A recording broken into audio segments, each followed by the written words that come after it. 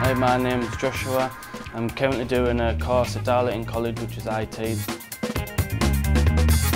I do like to interact with the computer and get my experience.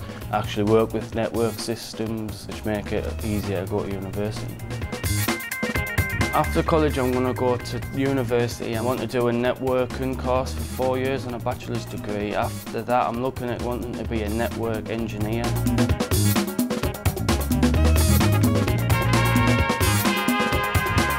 I've really enjoyed my time at Darlington College, and mainly because I get on with my tutors more than I did at school. You can seem to interact with them more, you're more grown up. You seem to get on with them more because you have similar interests, because you're enjoying your course. So yeah, I really enjoyed Darlington College.